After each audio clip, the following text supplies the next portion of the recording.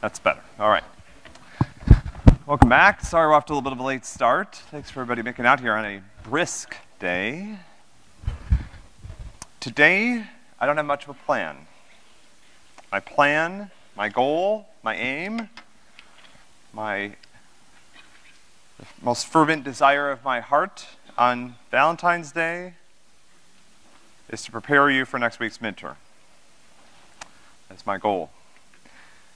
I will take questions today. We will go over some problems together, um, look at some examples of how to do some of the recent homework problems. Uh, but again, this is really your class. Um, we, there is no new content today. We have talked about everything you guys need to succeed next week. Any questions before we get started? Again, I'm happy to look at homework problems together. Happy to talk about any concepts that might still be a little bit slippery. Um, yeah. Yeah, we will. That one's actually, I'm actually prepared for that one. Yeah, that one's up here. Yeah. String rotation, always a classic. We'll look at it. Yeah, in the back. What was that? Uh, checking the board? That's also on here. Yeah, we will. Yep, okay. Well, so far I'm two for two. Who thinks they can stump me? So far I have masterfully anticipated your every need. But I'm, I'm out of, yeah. Uh, the question about trim and split, yeah, we could do that one. There's a, another question.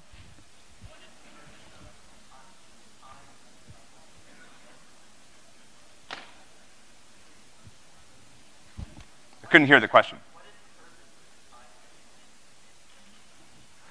Oh, yeah, that's not used, but that's how long the exam is. Yeah. All right, so let me uh, talk a little bit about um, the midterm first. So look, you guys have done a lot over the past four weeks, and I think you guys should take a minute. Um, you know, I've talked about this before, but I want to say it again. As a computer scientist, as a software developer, you are going to encounter failure and frustration on a daily basis, on a daily, hour to hour, minute to minute basis. And so, one of the things that's important for your psychological health is to look back from time to time and actually be able to feel good about things, right? I know that, like, the, the class just is sort of relentless when it comes to these homework problems. Like, every day there's a new homework problem. I just did the one yesterday, and now there's a new one I can't do. But you guys are doing the homework problems. I mean, when I look at the homework, number of people that are completing the homework problems, that's 90 to 95% per night, okay? So the people in this room, if you look back over the last four weeks, you have a lot more successes to celebrate than failures. But a lot of times, again, and I'm guilty of this myself, and I know that, and I've been learning recently to practice a little bit more self-care, is that it's always on to the next thing. You know, as soon as you fix that bug, then it's on to solving the next one.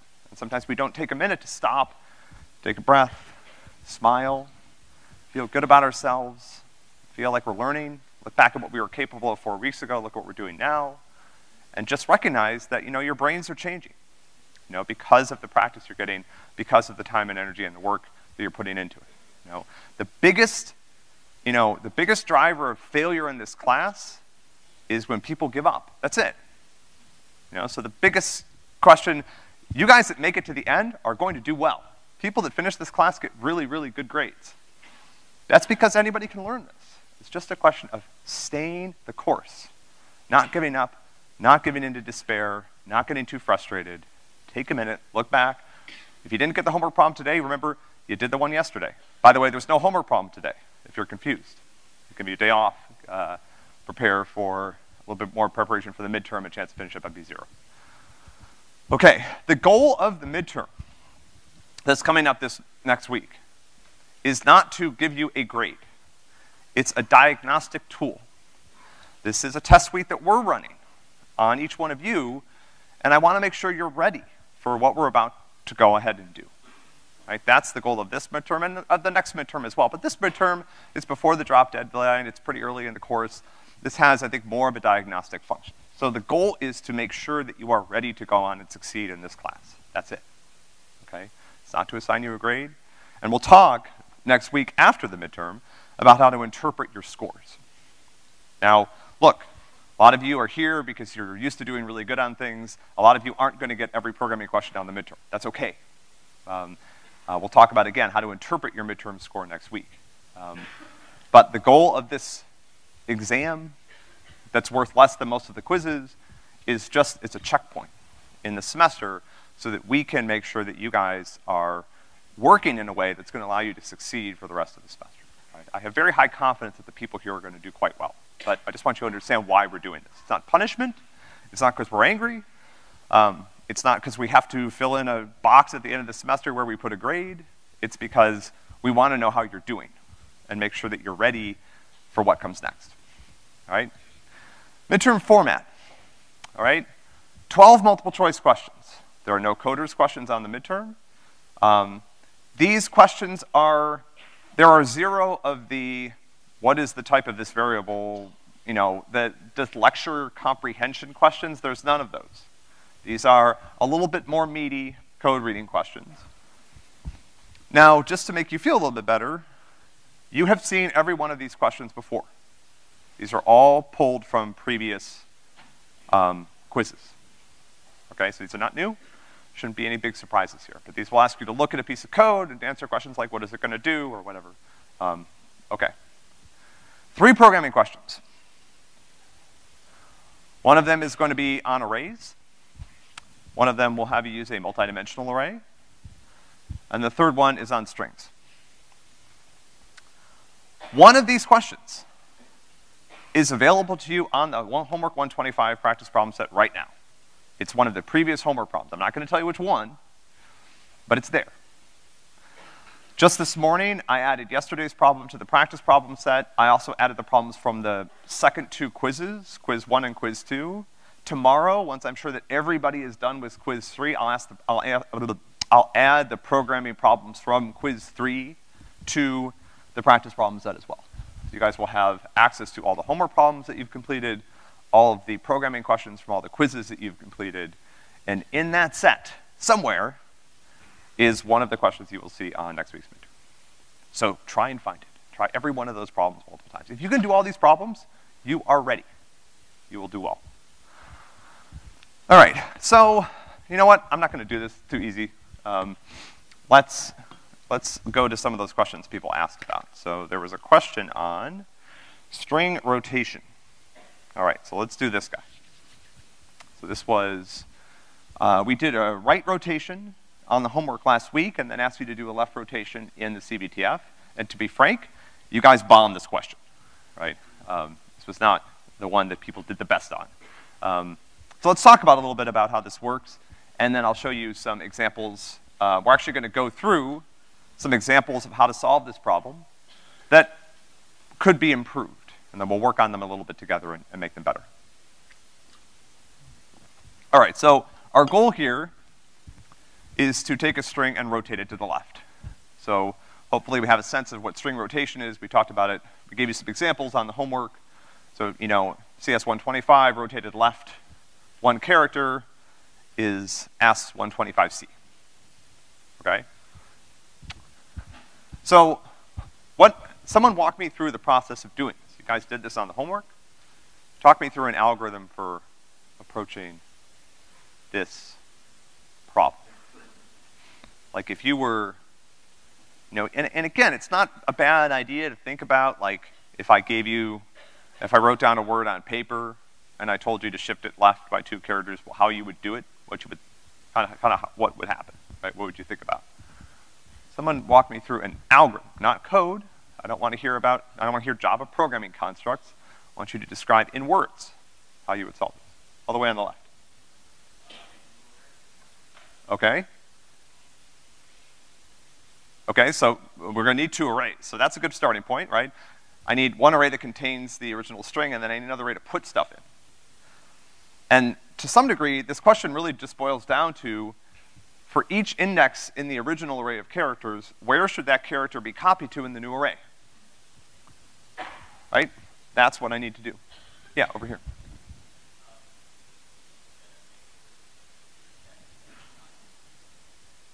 Yeah, we have some, uh, we have some checks that we want to do as well. That's a great thing. So the first thing I might want to do in my function is check for uh, things like if the string is null, I can't do much with it, so I need to return uh, something that you know, indicates that I couldn't work with it. Uh, if it's empty, then I don't have any work to do. What's the other case where I don't have any work to do? An, yeah. Okay, so if the shift is zero, that's true. One other case. Yeah. String is empty, one other case. Yeah. Yeah, we'll get that. That one, that's too complicated. It's a simpler case. There's one that's already done for you. Yeah. Huh? Keep, keep going. A length of one, right? Because a length, a string of length one shifted any number of characters, just the same string, right? Just that one character keeps looping around. You know where it's gonna go, right? All right, so I have some corner cases I can handle. You know, failure cases I need to think about. Okay, so let's say I have a string that I actually need to do some work on. So I had this two array approach. Um, let's see. So I'm gonna create this new character array at the same size as the input, and then one character at a time, I need to take characters out of that original string, and there I can go in any order. But I'm just gonna go in order from front to back, because that's how I like to loop through arrays. And for each character, I know that the string that I get out is gonna be the same length. So every character in the original string has to go somewhere. And this whole problem really just boils down to figuring out where should it go all right? And that's how we're gonna, that's how we're gonna uh, approach it. Once I know where it goes, I can figure out how to do this copy. But really the work that I'm doing inside this loop is figuring out what's the right place for it. All right, so let's write this function together. So first of all, let's set up our function definition. I'm gonna put this up top. We'll say this is gonna return a string. It's gonna take a string as input. And for now, just to get this to compile, um,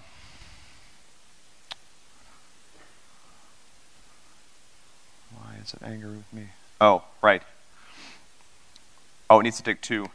Sorry, it needs to take two arguments. So, input and rotation, right? And this is my other problem. I apologize.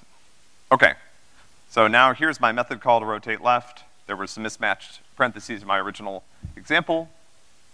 Um, my rotate left function takes two arguments, the string to rotate and how far, right? And so first let's do, let's, let's handle those, uh, those problematic cases. Okay. So what was one of them? What's one that's really a problem that could produce a pretty serious crash if I'm not careful about it? No. But I have to handle the case if input is null. So if input is equal to null, here I'm just gonna return null. You know, there's no way to rotate null, okay? So that's good. There were some other cases that I could kind of cheat and not do any work. What were those?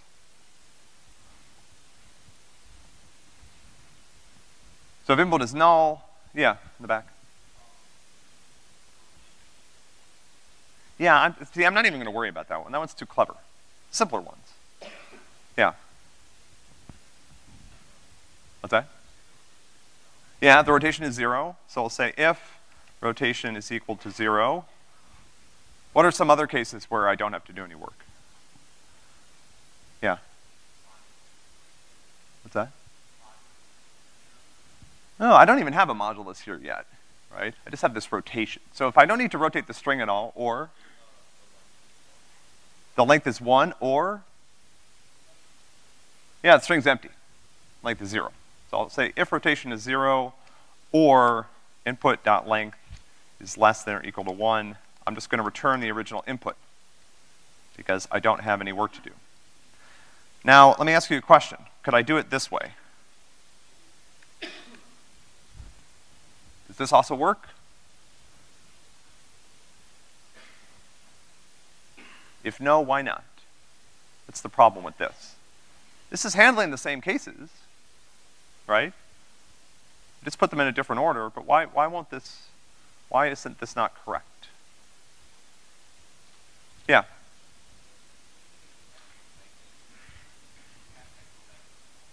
Yeah, so if I pass null, what's gonna happen here is that this is going to crash. So let's pass null. Oh. Yes, I got bitten by the same bug you guys did. Um, oh, sorry, I passed zero as the rotation. There we go. Right, so now I have a, I have a, this is a runtime error. Why?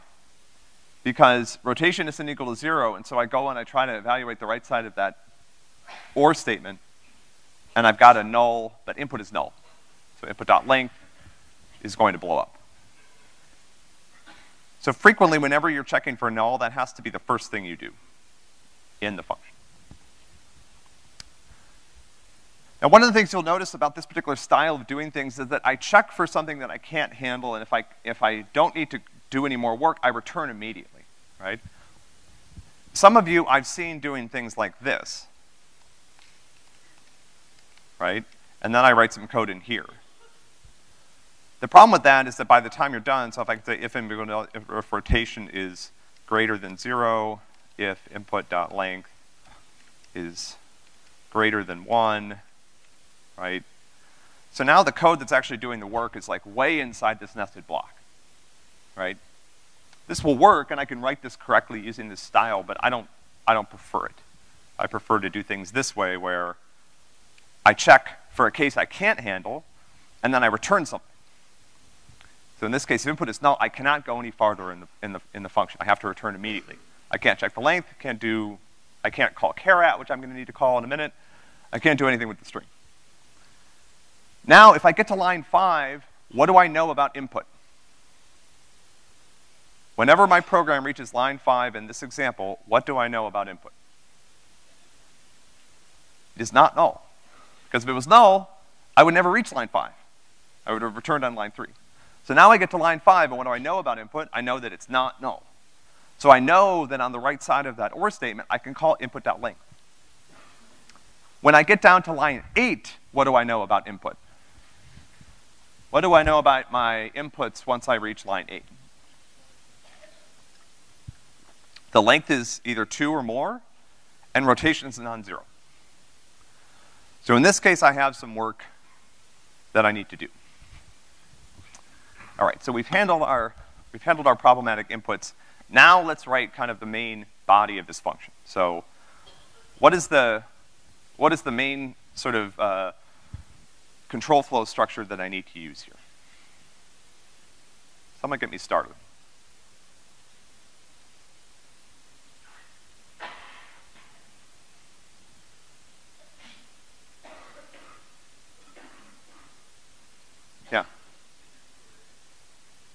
Okay, so I, I, yeah, let's, well, let's make the, let's make the new array. That's a good point. Okay, so uh, how do I convert a string to an array?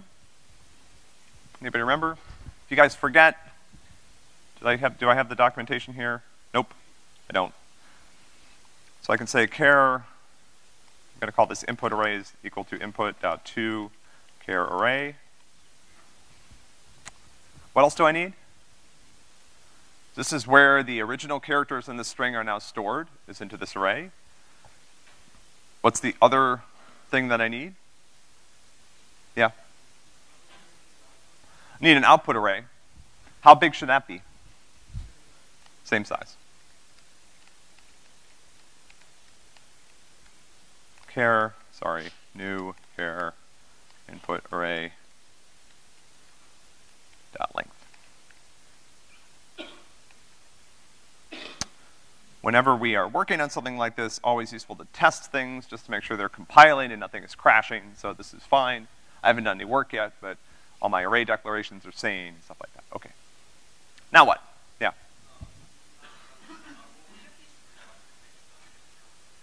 Yes. Yeah. Great question. So the midterm includes string documentation. If there's any other Java documentation you guys want on the midterm, I'm happy to add it. Just mention it on the forum and I'll put it on. Right now, I think it's like string and maybe array, and but I, I don't care. I mean, I'm not going to put the entire Java website in there, right? Uh, but if you guys have specific pieces of uh, documentation you're finding helpful, I'm happy. To. Other than a page that contains answers to the homework problems, also not going to be on. All right, so now what do I do?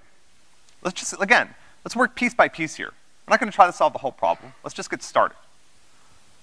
What do I, so I've got these two arrays. I've got the array that stores my input characters, array that stores my output characters. What do I need to do now? What's the next sort of control structure that I need? Yeah. Yeah, I need to go through my input array one character at a time. And to do that, I'm gonna use a for loop. I want that canonical for loop that we've written, you guys have started to write multiple times. I'm going through input array dot length. And let's just print the index. Okay. Good. So I see that I have five indices, zero through four, which makes sense because the length of my string is five. All right? I could also print both the index and the character at that position. And this is looking right. So it's looking like I'm going through my input array one character at a time. All right. So now a useful thing to do when you're working on a problem like this is picking, let's pick one input. I'm gonna pick this string and rotate left one. And let's handle it. Let's figure out how to handle it. So at this point, in, inside my loop, I know the index of the character in my original string. What do I need to compute? Right, so now I've got an output array that's ready to receive characters. I've got an input array that I'm iterating through. I just need one more piece of information. So I know where I'm taking the character from. I need to know what.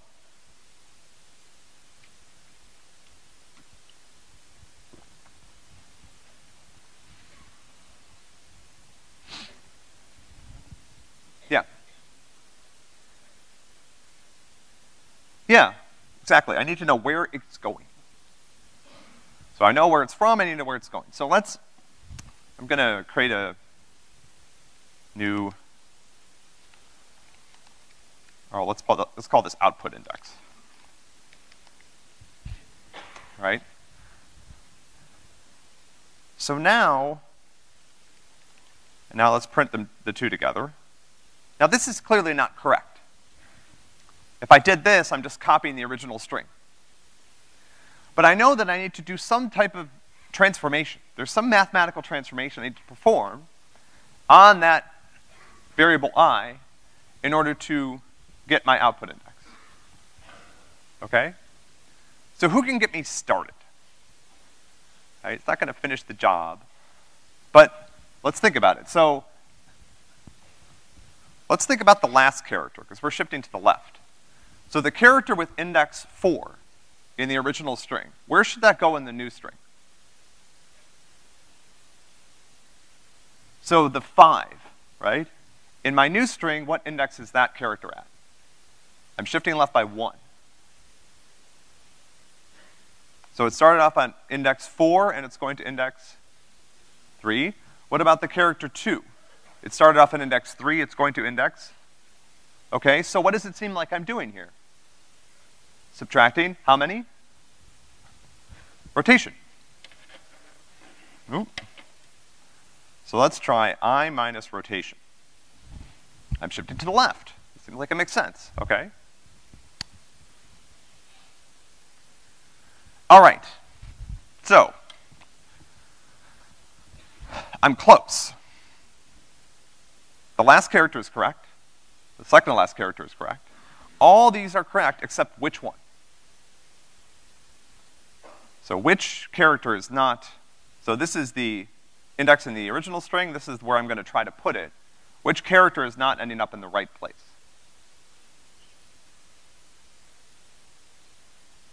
It's the first one, right? Negative one is not a valid index. Where should this one go? Should go where? It should go to four, okay? All right, so who, want, who thinks they have an idea for how to, how to fix this? Who wants to try something? Yeah.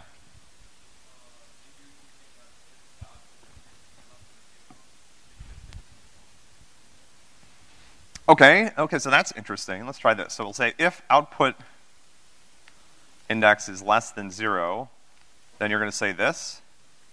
What, is that what we wanna try? Okay. So that works. All right? Or does it? Yeah.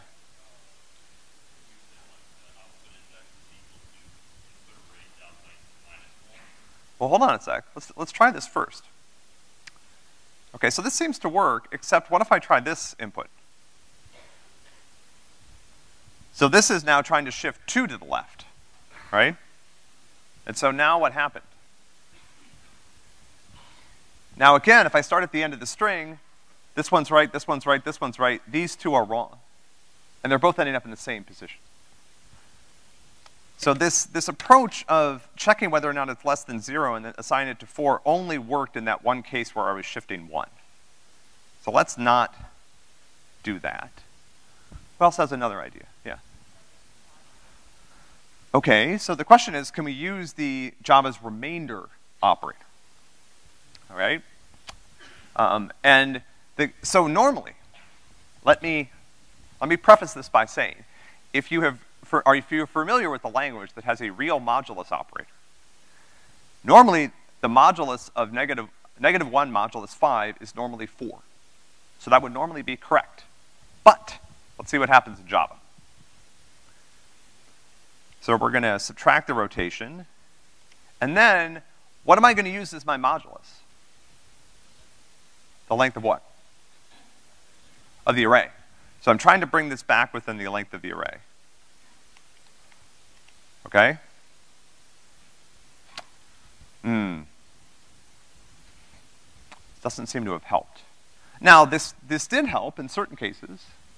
Let me try a, let's try a larger shift, like six. Okay?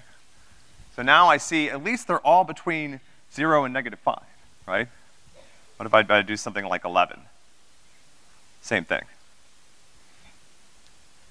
All right, so the problem in Java is that the modulus operator does not function like a modulus operator. It functions like a remainder. So if you give it a negative result, it gives you a negative answer. So, what do we need to do here? It's a very simple fix that we need to apply. Yeah, way over in the back.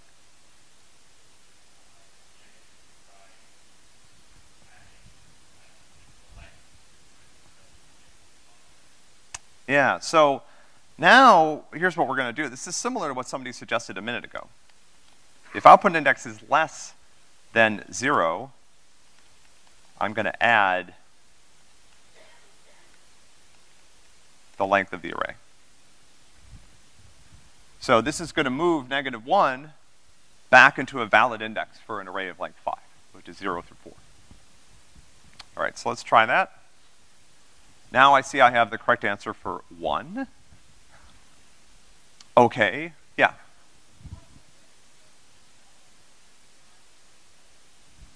Let's try it. Yeah, so the great, this is a great question. That's exactly what I wanted to do next. Let's try a different test case, okay? So with, with rotation, we know that if I add a rotation of five more, I should end up with the same answer, correct? Yeah, because the string is length five, okay? So now let's see what happens. Let's try six. Ooh, Good. What's another one to try? Add five. Let's try 11. These should all be the same because they're all, they're just looping around. Okay? 11 looks correct. Let's try 16. We could do this all day. Also correct. Yeah. Yeah, so this, this is looking promising. Somebody give me another input to try. We've been, we've been essentially trying a string rotation of one to see if we get that to work first. Somebody give me something else to try here. How about two? We're picking inputs where we know what the answer should be. And then we're checking it. And look, we haven't even, we're not even creating a new string. We're just making sure the indices look correct. So again, the last one ends up at position two, these all are correct. The first character in the string is now the second to last character. All right, so now we're feeling good about this. let's actually put things back together. The last thing I need to do, so now I'm getting to line 15. What's the last bit? Well, there's two last things I need to do here. It's the last thing I need to do to finish this up. Or at least to get to the point where we can keep testing it, but actually see what the real output would be.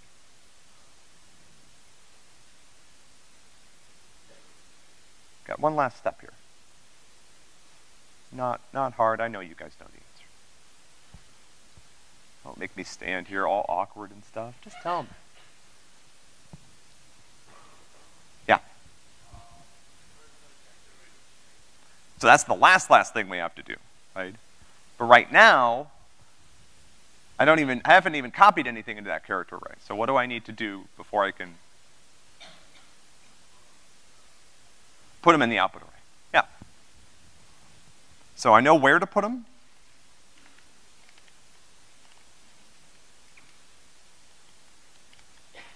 So now line 15 is copying characters from my input array into my output array. Those two positions might be different.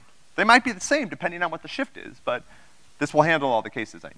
So I know where to put it in the output, and I know where it's coming from. Now, very last step is to return, and we showed you how to do this on the homework problem. I return a new string that I create by using that output array. So this takes the output array of characters that I've created and converts it back into a string, which is returned by function. All right, so let's see if this is correct. That looks right. Let's try something like seven. That looks right. Let's try zero to make sure I can handle the simple cases. Let's try five. Let's try 10. Yeah. So anything that's multiple of five is gonna result in the same string. Let's try some of those corner cases we looked at before. Let's make sure I can handle the empty string, a string with one character, string with two characters, give it something odd, and you should see it swapped. Yeah. All right, questions about this? You know, the, you know, my goal here is not to arrive at this answer. My goal here is to show you a little bit about the process. Because look, by the time you're done with this, it's like, oh my gosh, this looks a little frightening, right? Um, but getting there step by step, piece by piece, you know, line by line. You don't just sit down and try to write this all in one swoop. You work your way up to it. You do a little bit, test it, see if it does anything, right? And add a little bit more, add a little bit more, right? Until we arrive at the final result. Again, like I said before, this is frustrating. If you build in, every time when we were doing this, I ran that and I saw that it compiled, and ran and produced some type of output, I felt a little better about myself.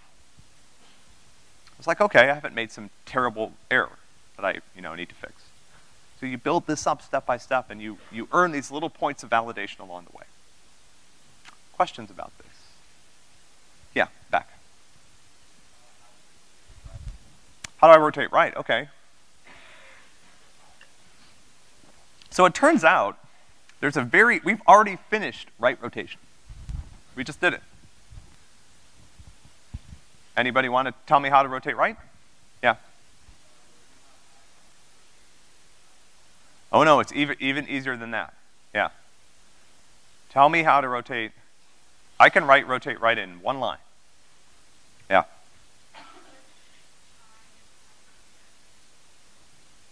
Oh, it's even simpler than that. Yeah. You go.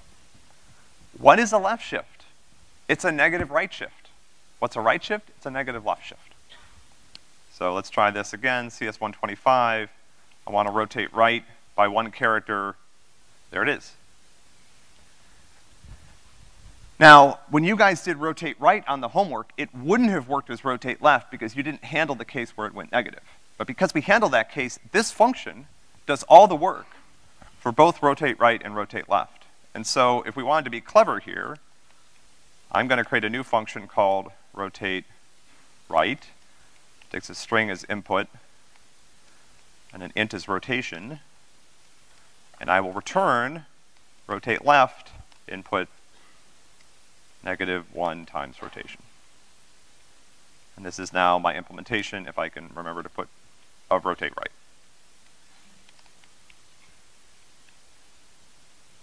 There it is. Yeah, so you, so, I mean, you guys did the, the, those of you that did the encryption lab, I hope, saw the same thing. Right? Decrypt is just encrypt with a different, like flipping one of the arguments. Same thing here. Rotate right is just a negative left rotation. Right, so now I've done both without writing a single extra line of code. All right, let me look at, somebody wanted to do a, the, a problem using, um, I'm not gonna do this. So I'm wanted to use split. So let's, let's look at how split works. Just gotta remind myself. Let's, there, was a, there was a problem on phone numbers. We can do that one. So the problem was something like, if I give you a phone number like eh, it's equal to, let's say that I give you this phone number, and I want you to reformat it into parentheses, one, two, three, four, space, five, four, five, sorry, one, two, three, one, four, I want it to look like this.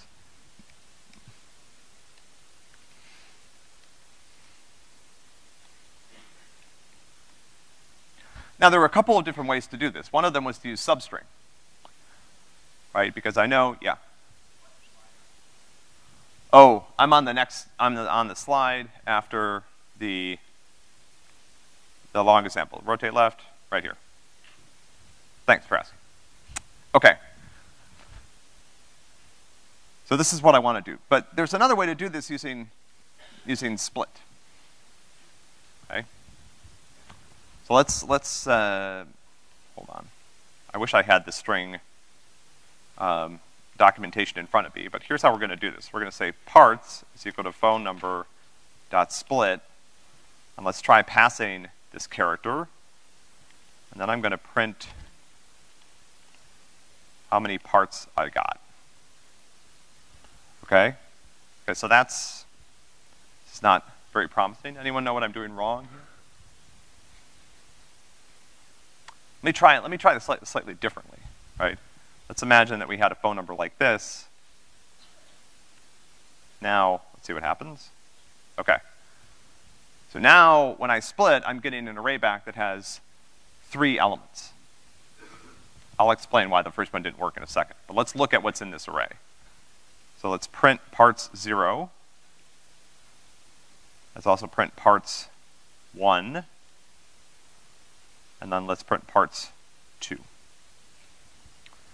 So the split function takes a character, and every time it sees that character in the string, it creates a new substring. And so what you get out of split is an array of strings that contains all the parts from the original string that were separated by whatever character you used. Okay, so we're close now. If I wanted to actually print the phone number in the new format, I would have to do something like this. I'm going to string new format is equal to parts zero. Sorry.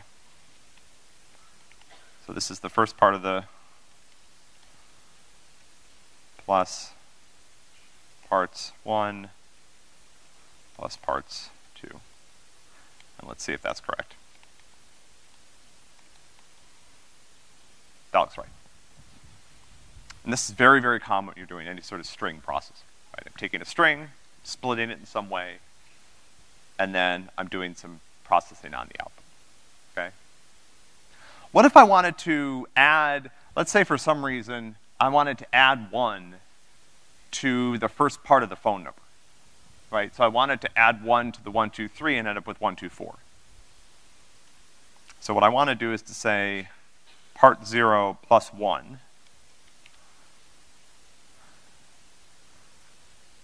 Hmm, what just happened? So this worked. What's the problem here?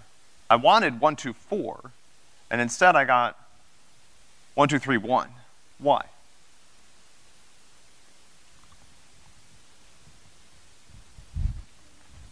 Because these are strings. So when I add something to them, what is the add what is the plus operator doing?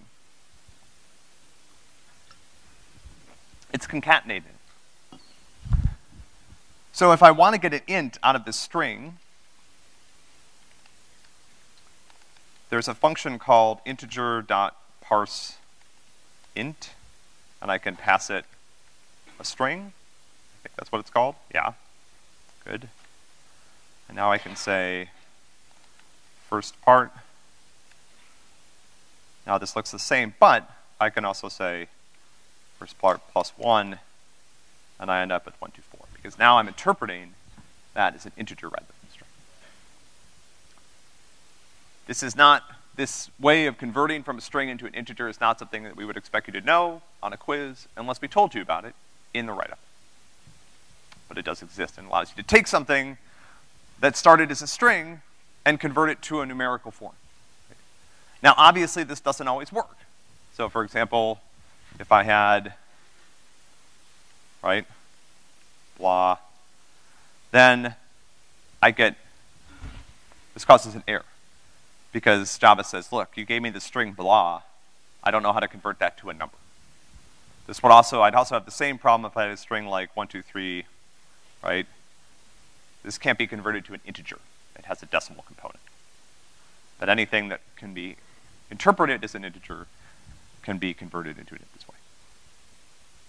Okay, that was the split example. I'm out of time, so I'm not gonna be able to do the, the tic-tac-toe one, but I'm pretty sure if you guys look at the video from last semester or last year, we did do the tic-tac-toe example. So that's, that's online. All right. Any last questions? Good luck finishing up MP0. You guys are almost there. Like I promised, this is good preparation for the midterm. Um, on Monday, we move into the object orientation portion of the class. Um, you guys have a midterm next week. I wish you the best of luck preparing. Stay warm this weekend. Come to office hours to finish up. I will see you on Monday.